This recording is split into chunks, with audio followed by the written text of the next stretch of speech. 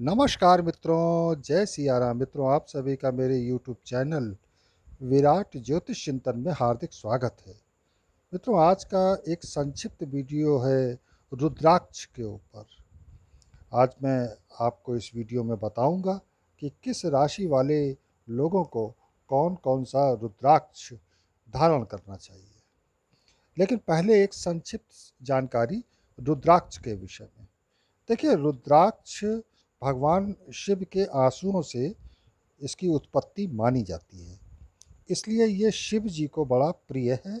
इसकी माला पहनने से मनुष्य को काल का भय नहीं रहता। विश्व भर में ऐसा मैंने सुना है कि रुद्राक्ष की 123 प्रजातियाँ पाई जाती हैं, जिनमें 25 प्रजातियाँ तो भारत में ही पाई जाती हैं। भारत की अगर बात करें तो रुद्राक्ष के पेड़ भारत में हिमालय के पर्वतीय क्षेत्रों में बिहार, असम, मध्य प्रदेश, उत्तराखंड, अरुणाचल प्रदेश, बंगाल और इसके अलावा दक्षिण भारत में नीलगिरी, मैसूर व रामेश्वरम में भी पाए जाते हैं। भारत, नेपाल की सीमा के तराई क्षेत्रों में भी इसके पेड़ बहुतायत से मिलते हैं। धार्मिक और औषधीय दोनों तरह से नेपाल का रुद्राक्ष मित्रों बहुत बेहतरीन माना जाता है। और यूपी में भी जो पेड़ मिलते हैं, वो इसी नेपाली प्रजाति के ही हैं। रुद्राक्ष की प्रकृति गर्म और तर होती है। ये नीम के समान कृमिनाशक और ओजप्रद होता है। रुद्राक्ष उच्च रक्तचाप और मिर्गी में अत्यंत लाभदायक होता है चरक संहिता में। औषधि के रूप में उपयोग का, रुद्राक्ष के उपयोग का उल्लेख मिलता है।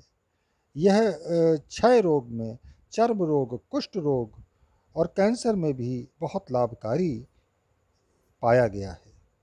रुद्राक्ष चार रंग के होते हैं और रुद्राक्ष के जो पेड़ होते हैं, वह लगभग 50 फीट से लेकर 200 फीट तक लंबे होते हैं। और इसके जो फल की गुठली होती है उसके रूप में हमको रुद्राक्ष प्राप्त होता है।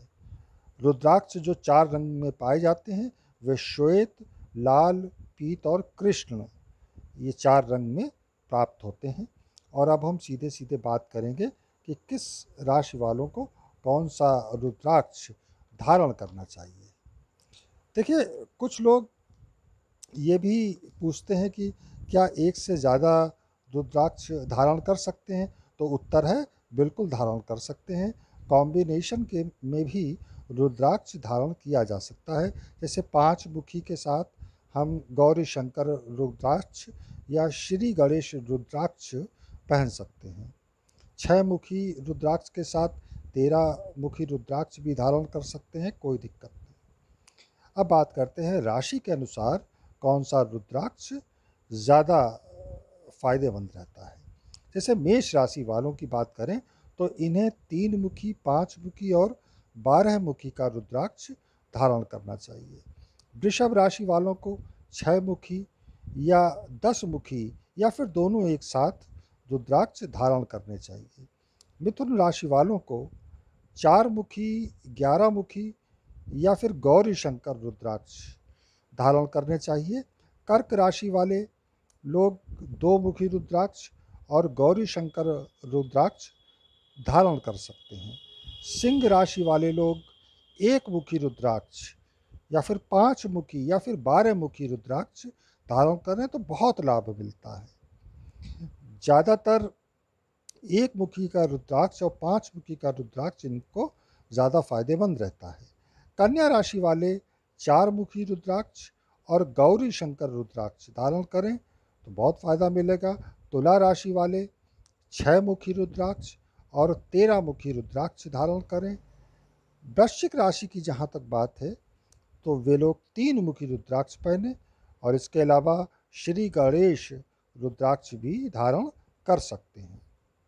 धनु राशि वाले भी एक मुखी, पाँच मुखी और श्री गणेश रुद्राक्ष धारण कर सकते हैं। मकर राशि के लोग सात मुखी चौदह मुखी और छः मुखी रुद्राक्ष पहने तो लाभ होता है। कुंभ राशि वाले जातक सात मुखी दस मुखी और चौदह मुखी ये तीन रुद्राक्ष धारण कर सकते हैं। और अंत में मीन राशि की जहाँ तक बात है तो मीन राशि वाले एक मुखी और पाँच मुखी ये दो तरह के रुद्राक्ष धारण कर सकते हैं। इन्हें बहुत लाभ मिलेगा। तो मित्रों, ये संक्षिप्त वीडियो मैं यहीं पे समाप्त करता हूँ। मिलेंगे अगले वीडियो में फिर किसी नई जानकारी के साथ। तब तक जय जय सिया राम। नमस्कार।